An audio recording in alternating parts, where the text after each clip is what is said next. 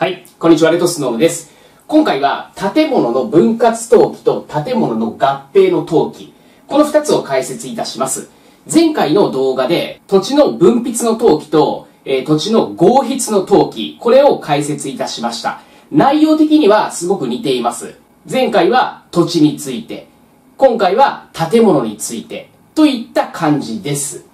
で、まず、建物の分割登記っていうのは、一つの表題部の中に、主である建物と付属建物、このように二つの建物が登記されていて、この付属建物を独立した一つの建物にする登記、これが建物の分割登記と呼ばれます。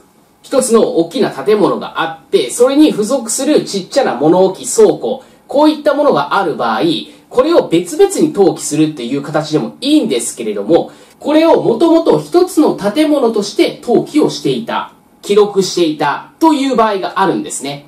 この付属の建物を、付属ではなくて、もう主の建物として別個登記簿を作るといった場合、これが建物の分割登記です。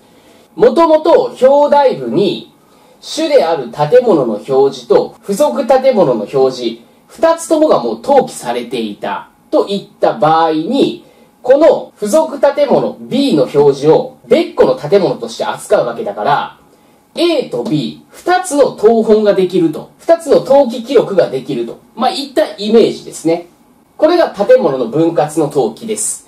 で、続いて、建物の合併の登記。これは数個の建物を法律上1個の建物として扱う登記です。なので、まあ、これの逆といったイメージですね。ただし、合併登記できない場合があります。一つ目、共用部分である旨の登記がある場合。これ、例えばなんですけれども、区分所有法のところで勉強したんですが、例えばマンション1棟あって、えー別途集会場というちっちゃな建物がありました。で、この建物は、規約で共用部分として、で、規約共用部分である旨の登記をしていたとします。まあ、第三者に対して対抗するために、これ登記をしていたといった場合ですね。この場合っていうのは、このマンションと、この集会場、合併登記はできませんよと、まあ、いう話です。まあ、もともとも共用部分である登記があるから、もうそれでいいですよね、と、まあ、いうことですね。で、二つ目、所有者が異なる。つまり二つの建物の所有者が異なるといった場合は合併登記できません。また、所有者の持ち分が異なる。こっちの建物については、二人、えー共有者がいて、二分の一ずつ持ち分でした。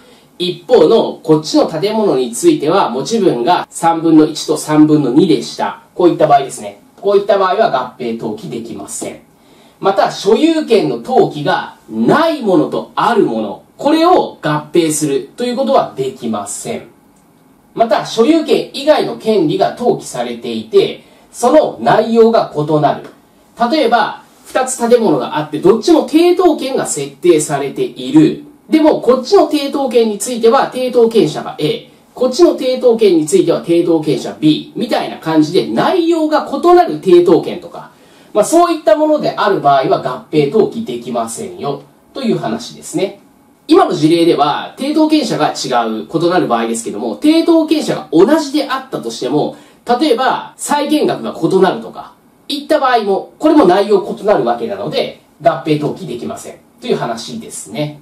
まあ、内容的にはそれほど難しくないと思います。まあ、なので、まあ、出題されたら解けるようにしていただければと思います。今日も最後まで動画をご覧いただきましてありがとうございました。宅建合格目指して一緒に頑張っていきましょう。